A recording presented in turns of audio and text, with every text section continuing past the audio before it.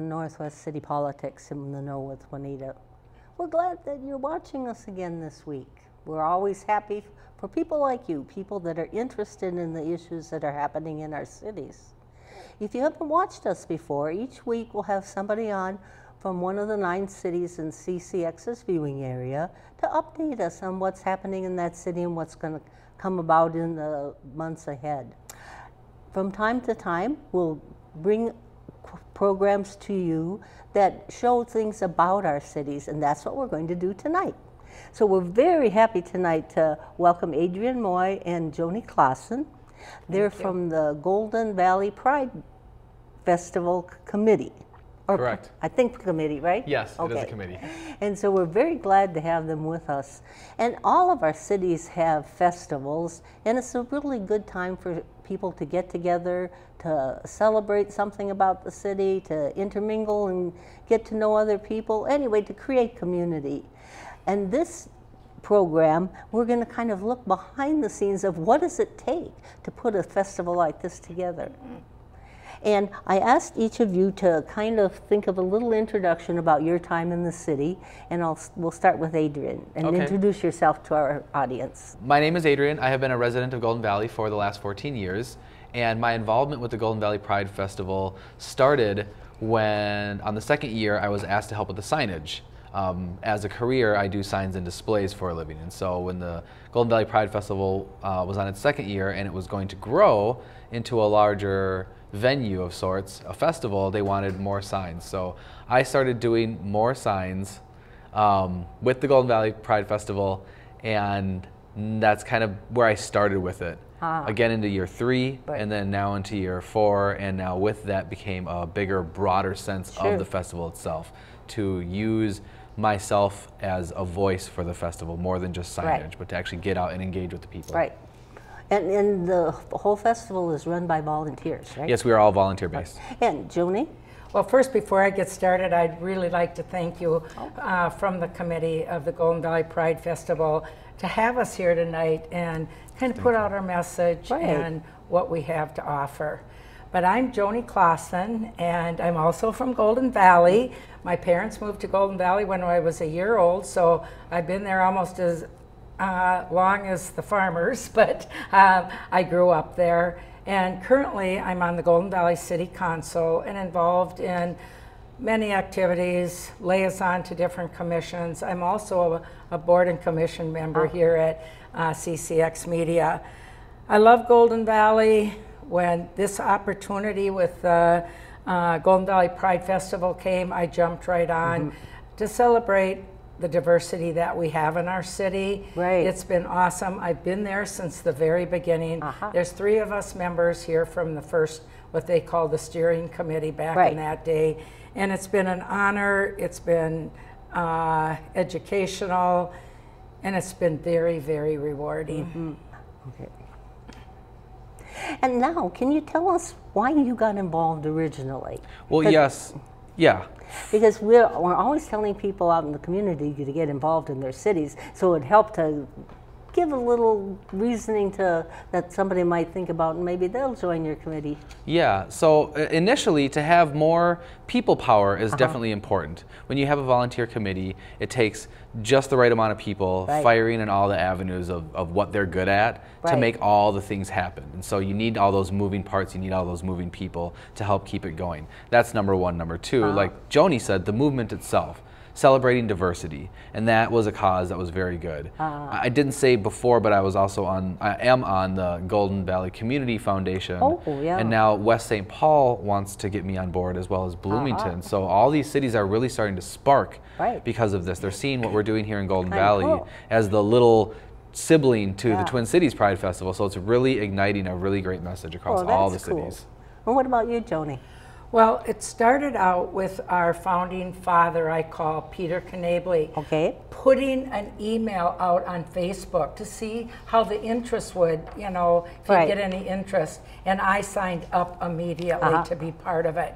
And it just kind of grew from there. Mm -hmm. I just uh, was really excited about it. And we just took um, steps from the very good, little by little right. until uh, we got enough members to get it started. And really, after uh, the first year we had it, we started in January, but Right. I got involved because I just thought this would be a great event for our community. Right. And Golden Valley has the highest number of per capita gay couples than any other city in Yes. Minnesota. So this was kind of a natural for Yeah, our, a good fit. yeah, it was a good fit for our community. I will switch and talk a little bit about the history of the festival. Um, when did the idea of the Pride Festival come up? Just it was. I think you just told me the answer, right? It was one person who thought this would be something good for your city. Right, in the fall of the year before Okay. we uh, started, he came out with this. And then we had another council member, Larry Fonnest, Uh-huh. who is gay. He signed up, and uh, we had eight members. Okay. And Larry Fonnest, myself, Jonathan Burris, Teresa and Aaron Black, Kimberly Sandberg, and Shannon Black. And that was our first committee. Uh-huh. And- So people out there, if they've got some thought of what they want to do, it doesn't take a huge amount of people. I mean, eight people is a goodly amount to get with volunteers, right? But still, that it doesn't take a huge amount of people to to get something started. Well, it did, we did have a few other people that came Uh-huh. to start, but they kind of fell off to the Oh. side. And but these eight stuck it out, Ah, right. and it was kind of the blind leading the blind Right, at first, right. you know, and putting the pieces together. So here on year four, we're now at 13, 13 people on our committee. Ah, so yeah. it went from eight to 13 Right. within four years. So a couple added, but it still Right, is not right. massive. It's not massive. Well, we did and lose so it's some. important for people to know that. yeah, right. And we did lose some of those founding members because they're busy, and but we were we gained new members Right. to take their Yep. place. Yep. Now, all of our cities in this northwest corner of the city are getting more diverse in many different ways. What are some ways that Golden Valley has been working through that? This is one way, but what are some other things that they that you've been doing in Golden Valley? Well, one thing I'd like to bring up this festival is not a part of the city. Right, and I and I did on. ser- right. I, you know, I'm serving on the council when this came forward, and even though I was on the committee, I did not believe that it should be part of the city. Right. Only because if any other groups uh, came forward, the Latinos, the blacks, the whatever, Right. we would have to do the same for every single group. Uh-huh. And affordability is a problem. So we are our own entity. Right. We have the support, but we pay for everything, all the permits, everything. So we're not actually part of the city. Right. But our city is doing many, many things. We have a new Rising Tides task force Right. for equality that will not just look in what can we do as a city, but in our contracts, how we do uh-huh. business. And it's a year-long um, task force, and we'll come together at, with this task force and have a new direction for our city on many different uh-huh. avenues. But we're ve- looking very hard at the diversity that we have because we have changed over the years Oh, greatly, greatly. And we need to address those issues. And so I think uh, this um, Tides Task Force, it's really one of the first Ah. out there. So we're really proud of it, and it won't be till next um, late fall or beginning winter when we'll really put everything that they've Right. discussed and see what direction we're going in. Are there any things that you've noticed that have been changing as time has gone by? Well, we're getting a lot more art projects happening Ah. Amongst the city um, with the Brookview Center being Oh, right, remade, and then um, the Golden Valley Community Foundation is branching off into many different Mm-hmm. facets, like the Gold, the Golden Global Mm. community. There's the Market in the Valley, the Art and Music Festival, Yeah. and then there's another one that's coming up that I'm not going to say anything about because until it really gets its Oh, yeah. its feet on the ground. I don't want to know until it's going to launch itself. So we're branching right. out in these different areas Oh, and really right. making sure that the community is involved. Um, those are festivals. Okay. What is the one that we do? The music in the park. Isn't that a regular thing all the time That as is well? sponsored by the city, Okay, yes. okay. and Uh, that's that's and- something that's uh, it's a it's a ongoing thing throughout the summer, spring, right? Fall? uh, The Art and Music Festival? no, the music in the park. Oh, that's all, I'm sorry, I Yeah, misunderstood that. every- That goes on um, all summer. Right. And they have uh, different bands and Uh-huh. orchestras, and that um, is probably Monday night tonight, And actually. movies as well too. Don't they do movies They- in the park as well? we've gotten Monday, uh, movies and uh, ice cream socials, and we do a lot of activities Yeah, during, really you know, with our city. Right. And one of the successes is um, the Golden Valley Foundation, because without them, this festival probably would not have taken place because of insurance costs. Oh, and, right. So they're really one of the reasons we were able to, Ah. you know, be successful at this because trying to raise money is not that Oh, easy right, and with right. insurance and everything. So we've really um, depended on them and they've really followed through for us. So there's been a lot of things that Golden Valley's been trying in many different ways, I think. And then this is a good addition to all Absolutely. those other things. A growing addition. Right. What would you say, and maybe there isn't one, the primary purpose of your Pride Festival is? I believe there is one. Do you want to give an answer, or you I want to have me think the primary purf- uh, purpose is to ce- celebrate the gay members of our community. Uh-huh. And this started out for a celebration with Golden Valley for our residents, but it is growing where people are coming now from all over. Cool. And uh, so, like the first year, we had maybe 2,500. Now we've had about 5,000. Ah. And so, it's a celebration of our gay community, but really, it's ending up a celebration of the gay community itself. Yes, and, and on top of that, I'd also say m- more than a celebration, indeed, a celebration, a festival, Right. but also it's it, it's an acknowledgement. Oh, it's saying to the Pride right. community, you are allowed to be who you are. Yeah. And that's the whole celebration of diversity. Whether Right. you're a man, a woman, of whatever ethnicity or any Right. gender association or whatever religious yoke you have, you are allowed to be who you are. And so this is one day during the month of Mm-hmm. Right. Pride Month that th- our organization in the city of Golden Valley says we're going to throw a festival in honor of you. Ah, so it's, a, it's a celebration, it's a, an acknowledgement, and it's it's paying honor Oh, to people being themselves. And I think people are looking more and more for a sense of community. Don't Absolutely. You think? 'Cause Support, that's what I've community been support. noticing. And I, I, I'm not sure how further on in the interview this goes, but when we get to our sponsors, Mm-hmm. having their involvement, because that really tells the community as well, hey, we're here with you guys. Right, That's right. huge when we get those bigger right, companies definitely, involved. Definitely. And I think one of the other interesting things is our committee isn't just gay people, it is also people Oh, that yeah, are straight. whole- and so right, we're all working Allies. together. Yes, we're Yeah. allies. Now, one of the things you have is you have several events happening. So there's like things for the whole range of everybody in your family, right?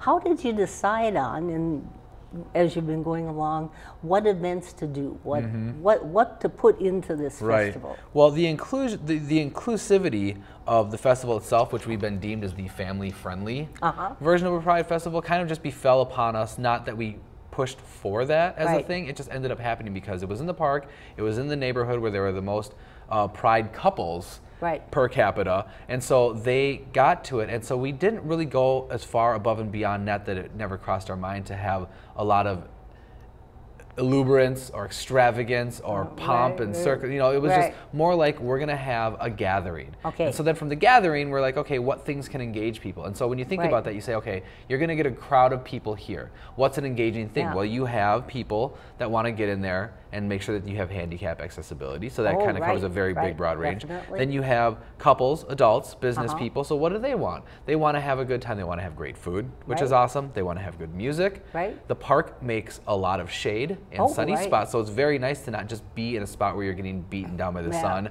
or cold because there's not sun. You have the variety. Children is the lawn activities, Mm-hmm. face painting.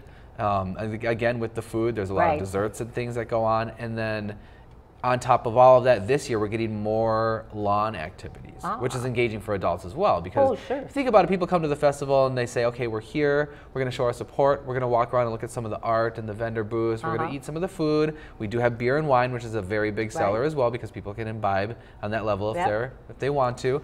Um, and then then the kids have the bouncy houses. So Oh, we're right. thinking Kids always like they love that. So we're thinking, what can we do to keep the adults Uh-huh. more engaged? Because as the adult, if you have kids, Right. you know, now you're like, okay, we've been here for an hour, Uh-huh. hour and a half, hour and a half. Now what do we do? Yeah. So now we're going to get more everybody inclusive lawn Ah. activities so that people can be more engaged. Now what's going to Now, you've got a lot of events. The first one was the worship service in the morning. Correct. I, I've got 10 a.m., right? That's right. So, and that's taken care of by the churches in your community, from what I just heard you say, right? Well, um, that's changed a little over Oh, oh, time okay. too, because some churches were mad they weren't going to be able to have it at their church. Oh.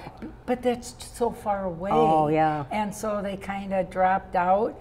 But And that's a um, logistical issue when it comes to organizing Oh, of something. course. Yep. So they said, Of okay, was it was it six or five? Because I thought at one point it was six churches that were We had four. right? Four. Okay. Four. Okay. So you have these different denominational churches Right, churches, right. and they're all agreeing to do an interfaith service. Uh-huh. And so when the when one of them said, "Hey, I want to do it at mine," we actually danced through the idea. What happens when people go further away from the park Yeah. to have this service, and then how do they get back to the park when yeah. the park is closed off now? Yeah. And so we said, okay, we could just have it in the park. Oh, right. Well, having it in the park means that we have to have more security, which is more funding, because Oh, now we have to have the police right, task right, yeah. on earlier than normal. Yeah. So we said, let's just keep it at Spirit of Hope. Mm-hmm. Well, that made them upset because now they felt like we weren't sharing the congregation. And so that was a logistical Oh, thing right. that came to Some- organizing the interfaith service part. Yeah, that you had to work We had to work through, through. And so the answer just kind of was we really need to keep it close to the park. yeah, And it's not about the denomination of who is doing the thing. But they didn't want to see it that way, so we said, well, we can't help you see it, no, and we can't. You have to do your best. We did, Yeah, and we and did. we can only do so much. Right. Yep. And they made the decision, and they were all awesome churches. Yes, absolutely. And they really did put their heart into Yeah. it. But we also have the festival that we That want to the bring focus. these Yeah, that people was the main right, focus. right. to the festival. And if it's uh, five or seven minutes away across town, It's hard to get everybody from the service Yeah. back It to the festival. it time. Is. No, I can see that. And then you mentioned some of the activities for children, but it goes on from 12 till about 6, I think. Correct, 12 from, to 6 is. From the schedule that I was looking like. Maybe you can talk a little bit more about the children's activities. You've mentioned some of them. Did we get through all of them or not? What do you Well, we think? have the two bouncy houses, and Okay. one is an obstacle course. Okay. And so that's the big one. Uh-huh. Then we also have a giant uh, Jenga. Is that how you Yes, say we have it? giant Jenga. And there's a huge tower, but that's those where you put the wood and then it falls over. You know, when it reaches a certain Oh, point. okay, right. And so we have a giant one of those, a giant Yahtzee game Ah. with big um, dice. Uh-huh. We have a cornhole, which is when you throw the bean Uh-huh. bags. And um, some of these adults can do as well. Right. And then um, the Twins and United uh, FC are also going to be doing some children's games, but we're really not sure what those Yeah. are. Okay, wait. I wouldn't say they're children games. I will definitely be in line at the Twins and the soccer arena to do whatever games Yes. they bring. Yeah. Unless that just means I'm a big kid, because I can Yeah. be right up there with them. Yeah. And so we're so really excited to Oh, have the that twins. That's fun. big. That's That is, huge. right. That's fun. And uh, because some of those, the first years kind of turned us down. And so it's exciting that they're participating in this. And they want to, right? Oh, yeah, they love it. And we want them to too. All right. and then you've got community booths, and you talked a little bit about you've got two different kinds of booths in one area, right? So maybe talk a little bit about. Do you, what do you what do you know about that? Because We from my- have yeah. about 40, 45 booths this year no, we're up to Up to- 70, 80. Yeah, in a week. yeah, we have 70, 80 booths. Okay, well, Okay. from the last meeting I heard, um, so we have 70 or 80. That's Yeah. big. That's good. That's Yep. big. And we have um, community groups that Okay. come in. The city of Golden Valley Uh-huh. has one. Um, we'll have realtors or Um, Farmers market is going to yeah, be there. farmers market, Oh, market, right. and We have some artists that Uh-huh. come in because they have the free. Every anyone Oh. can come in, so it's not just community and Right, announcement right. and you know here's a public service announcement or an awareness of my company And, place. and so each group gets a space and they bring their own setup. That is Tent, correct okay. at this point, yes. Because there are festivals where people offer tables and chairs Right, and tents. right, right. We're not at that level Yeah. yet, so they bring their own. So they're basically when they sign up to be part of the festival, they're purchasing that spot. Right. It becomes their plot of land. Right. And then we actually have a gentleman who's on our committee who manages that. Ah, so yeah, all the way that, to the right? bitter end, right? All the way to the very bitter end, he's sitting there mapping out where Uh-huh. everyone's going to be, and he actually has to field phone calls of people saying, "Hey, can I be this? Ah. Can I be over here? Can I get that?" So that's quite a task in Oh, itself. yeah, I would think organizing all the tents. and But costs, people always enjoy going up and down and maybe finding something to purchase. Right, or yeah. Learning more about an organization. Yep. It costs hundred dollars if you're like a nonprofit or Uh-huh. a community, and it's two hundred dollars if you are a business. So that kind of helps fund part of the funding process. Absolutely. Yep. That Yes. goes into our ability to put back into the festival. Right. That all goes right back into it. But it's fun because people have something to do. And as we, if we have 80, that's really awesome because it'll go down the whole sidewalk. Correct. Uh-huh. And um, From the north to the south. yeah. yes, Yeah. and gives people, you know, a chance and they give little free things away. Right, and, right. You know, they can talk, you know, to different groups if they Mm-hmm. have questions and it's, it's fun. Oh, yeah, I would Yep. think so. And then food trucks. You also going to have food trucks there. And I, I was just sharing earlier, that's such a fun thing that's come up in the city's area So over the- the, past, what, five years? Yes, yes. And the food trucks that we have this year, I'll just Right. list them out. We have, so they're not all food, some of them are stationary. Oh, sure. So we have, I hope we get to have Milton's this year. Okay. Um, New Bohemia, Fabled Rooster, and that's kind of like a Fabled Rooster. It's like a like a barbecue type Oh. style place. Uh, Rebel Lobster, Ah, that speaks for itself. Yeah. As well as El Burrito Mercado, Earth, Wild Earth Wood Fire Pizza, Hmm. Froyo Soul, which is frozen yogurt. We have a cupcake company coming, um, and then Sebastian Joe's is going to be Ah. selling uh, special Pride ice cream at the festival. That also, and then all those donations are going back into the festival as Right. Well from Sebastian Joe's. Um, and then Culver's, who also works with the Rotary, they sell their custard ice cream, and then they Uh-huh. Use the proceeds from that that get matched by another organization, and that goes back into um, helping homeless youth, Ah. homeless Pride youth. oh, okay, so it's kind of a outreach from your outreach, Right, absolutely. So it's really great how you know a few of these are just going right back into Right. it. But then again, also having this variety of food Oh, is very good because you know I remember it was on the second year there were three food trucks. Okay.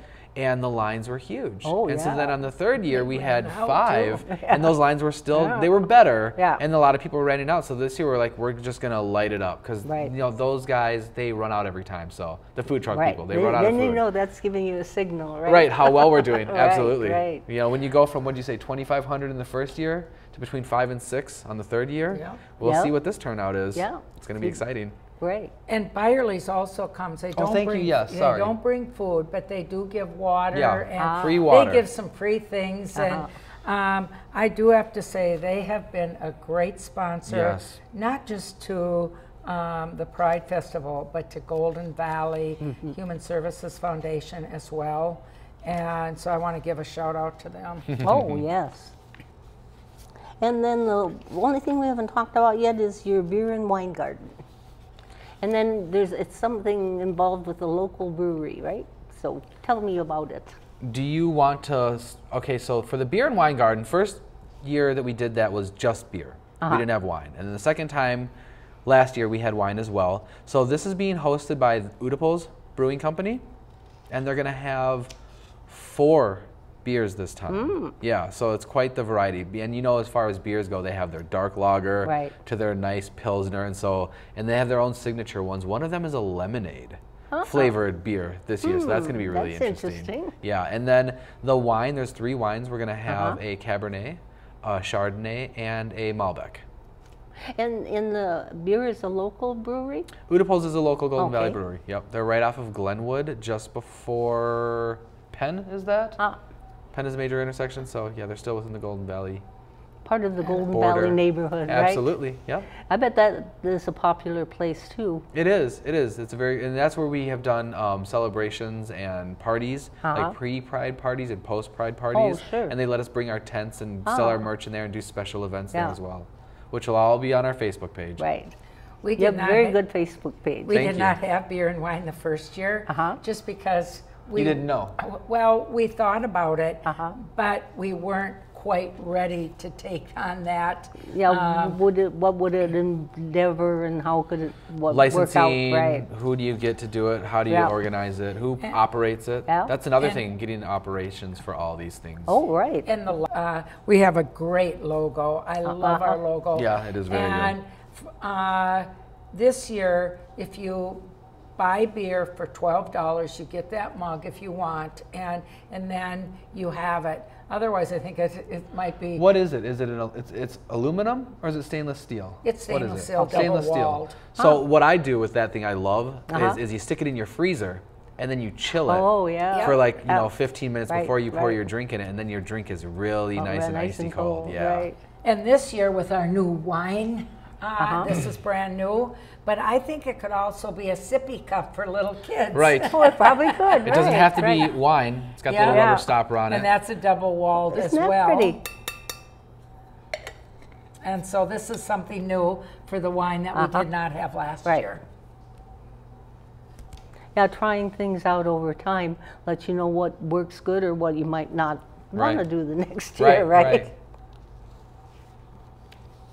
Right. And then the other part of the activities is from 12:25, and it looks like they're each what about 45 minutes long, roughly, Yep. until 5 p.m. There's going to be different musical groups. Can you tell us what the names of some of them, and tell us what a little bit about what kind of music? Right. So yeah, I, I can, and I'm actually very excited this year. The very first thing after our opening ceremony Uh-huh. that we do to kick off the festival, Right. Mm-hmm. we're gonna have a group called the JTR, and they're a, a junior dance group. Oh. And so they're gonna do a little dance number, and it's gonna Uh-huh. be uh, choreographed, really fun first group, and it's just it's a, they're a really good good dance group. And then we have Aaron Schwab.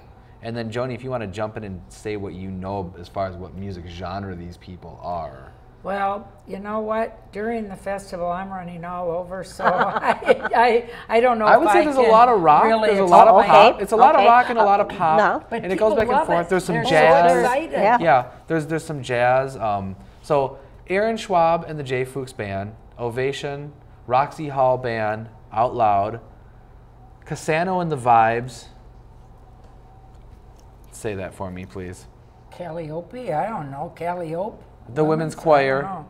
Audra and the New Black. Ah, So for the community people that know those bands, they'll know exactly right. what I'm talking and about. then lots of different groups. Correct. Yeah, it is a, quite a variety. Yeah. Yes. And that's that's really good because um, there's some grass people, funk in right? there. If they want to stay for a while, they have a variety and interest, and they can go over to the food court. They can go get their beer and wine. Then Right. they can come and Right. listen to the music. Well, I want to thank both of you so much. Thank you very much, for Juanita. It's been sharing an honor lots, to be here. lots of information and enthusiasm. Yes, indeed. About the process, and I was very happy when you were going to come on because we haven't done anything like this program. We've talked about farmers markets, but this is a whole different thing, right? But uh, to encourage people in the other cities too, that if you've got an idea that you'd like to celebrate for your city, take all these ideas and try. So what?